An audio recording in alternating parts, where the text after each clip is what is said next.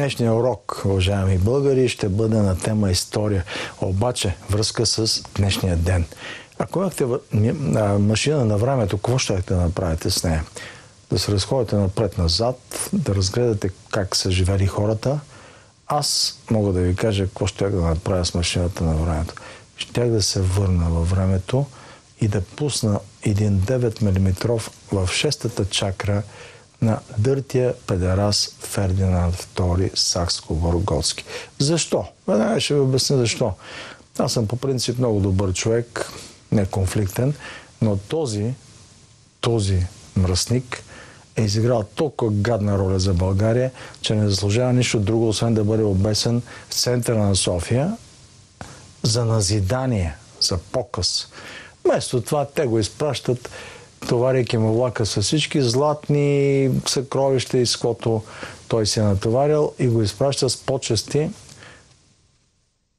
вместо да го обесят центъра на София. Но защо? Защо искам машина на времето, с която да се върна и да му пусна един 9 мм в шестата чакра? Ами защото този гад, е прецакал България, така че в момента ние сме не това, което трябваше да бъдем. За какво става дума? Първата световна война, 2015 година.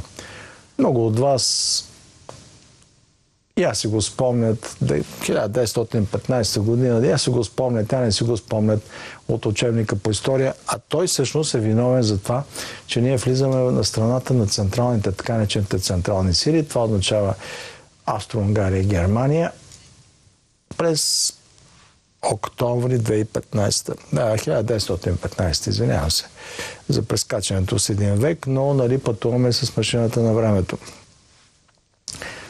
А, да ви кажа само как, каква зло, злодейска роля е изиграл този тип. Така нареченият цар на България. През 1915 година България трябва да реши дали да влезе на страната на централните сили или на Антантата. Това означава Русия, Франция, Англия, Румъния и Сърбия. Нека да видим сега една карта, която представлява тогава Европа разпределена между централните сили и Антантата. Ето е тази карта и вие виждате тук в тъмното, тя е черно-бяла, тъмните тонове са означени тези империи, които са Германия, Берлин, Австро-Унгария, Османската империя, забележете, Османската империя и България, която още не е влязла, защото това е малко преди да влезе България в тази конфигурация.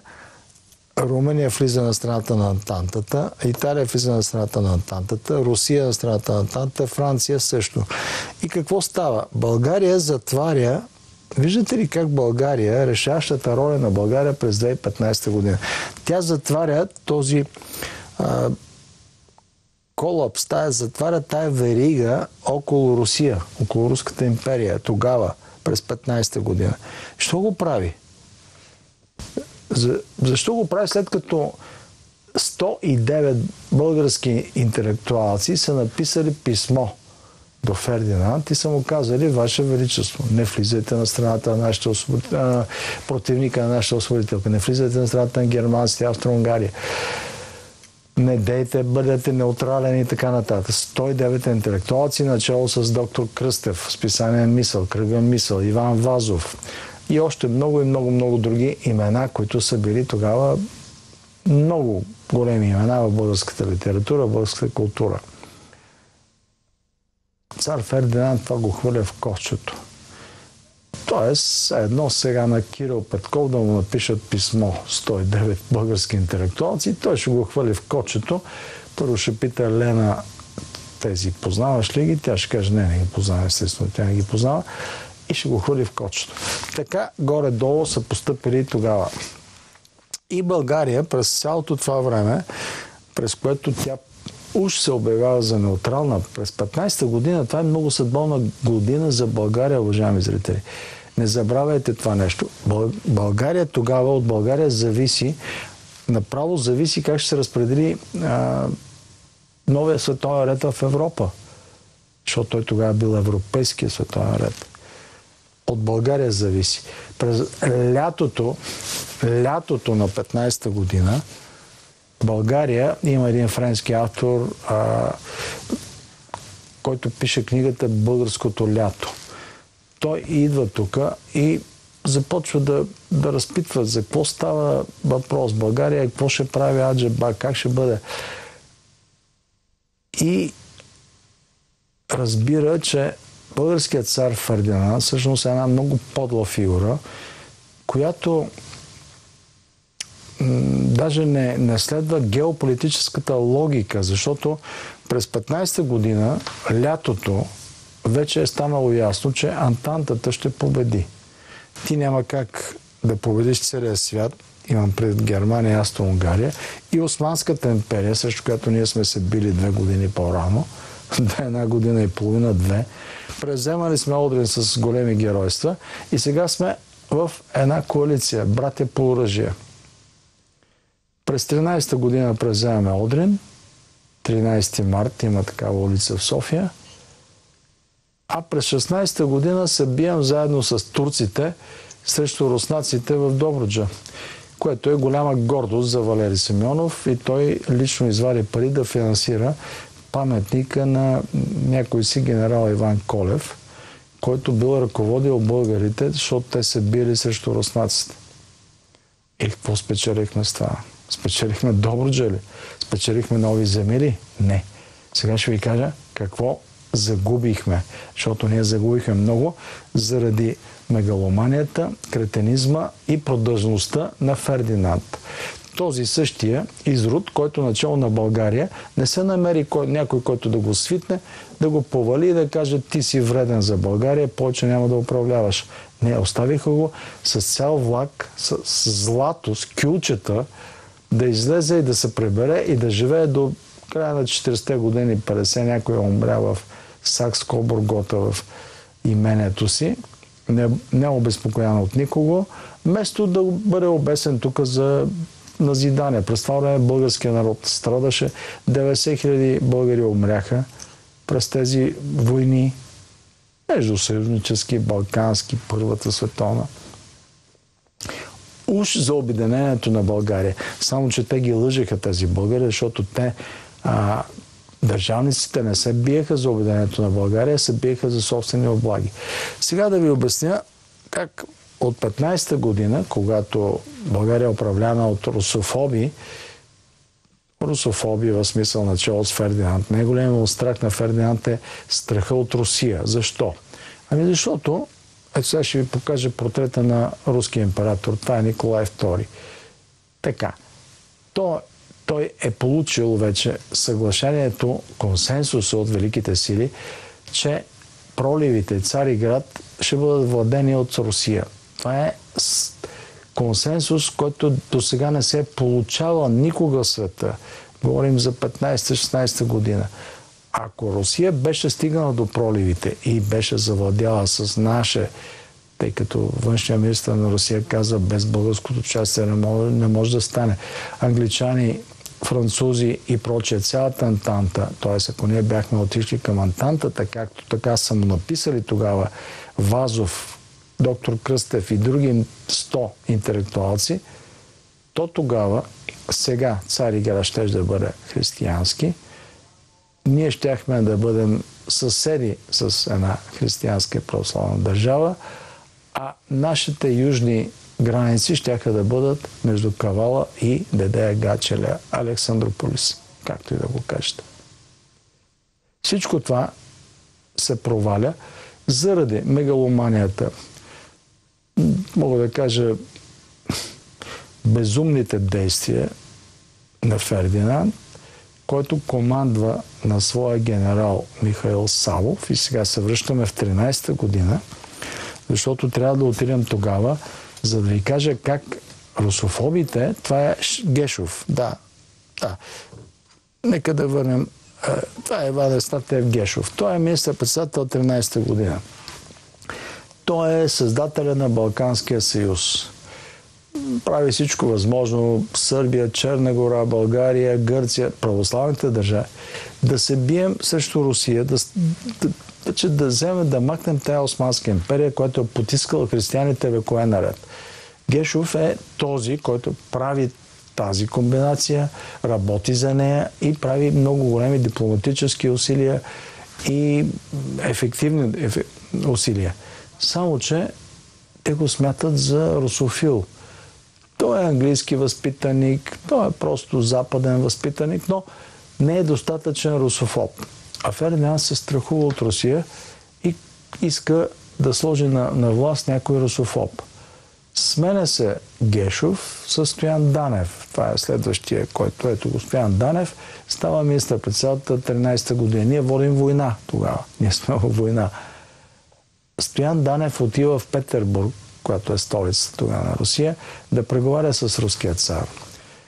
И през това време, когато го няма министър-председател, забележете, ако намерите някакви аналози с днешния ден, ще почерпя. През това време, когато министър-председателя го няма, Фердинанд, злодея на България, командва устно и казва на Михаил Савов, сега ще видите неговата снимка, един държавен изменник, разследван между другото за Далавери Михаил Савов, който е главнокомандващ щаба, т.е. втория човек след царя, му казва нападай сърби и гърци. Командва атаката на 16 юни 1913 година. Фаталният ден за България, защото до тогава ние сме героите на Балканите, превзели сме непревзимаеми крепости като Одрин, цял свят ни се прекланя. Изведнъж Фердинанд решава, че той ще влезе в Цариград като император. Командва на Савов. Савов казва а, да, веднага изпълнява заповедта, но имайте предвид, че след това доизживява своите старини в чужда държава. Той във Франция до 28 година, когато умира, живее там като пенсионер. Защо не живее в България? Много просто, защото тук някой може да го гръмне като национален предател. Следващия национален предател, Васил Радославов, ето го. Фердинанд го слага за министър-председател 13-14 година. Това е първият български министър-председател, който създава специалните региони с турски гласове, мусулмани, които да гласуват кърджалийски окръг, за да направи съотношение в... Т.е. създава първото ДПС в България през 1914 година. Преди 100 години и кусор. Васил Радославов. Как завършва той живота си? В Германия, като германски пенсионер, живее до 50 някоя година и си получава пенсията от германската държава, защото е направил каквото трябва за германските интереси против българските. И сега обобщението от цялата тая историческа лекция. За какво става дума? Имаме един национален предател, Фердинанд, и вместо той да бъде обесен тук в центъра на София, показван за назидание, те слагат неговия син, Мушморока Борис, да управлява след това, който да ни вкара в следващата национална катастрофа на страната на Хитлер. И по този начин и да слагат русофоби да управляват България. Тези, които ви показах, Радославов, Тончев и другите, които Фердинанд ги слага на власт, са русофоби. Фердинанд изпитва неистов страх от Русия, защото смята, че Русия ще го детронира. По тая причина България се оказва фактора, който на практика геополитически сваля Руската империя и способства там да, да стане болшевишката а, държава, от която сега нашите демократи много се оплакват. В същото време обаче величаят Фердинанд, величаят такива българофоби като Михаил Савов. И даже, с това ще завърша моята лекция, моя урок, през 2012 година президент Росен Плевнелиев посмъртно каза, че връчва орден Стара планина на генерал Михаил Савов.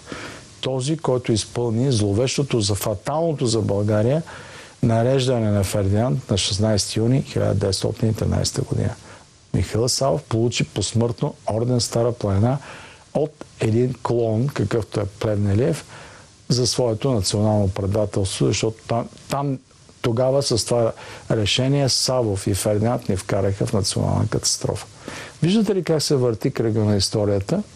И ако не познаваш историята, значи тогава си виновен за роското си положение днес. С това приключвам урока си днес, неделното училище и ви съветвам да внимавате в час, да си водите записки, защото не аз, живота един ден може да ви изпитва и вие трябва да бъдете готови за това.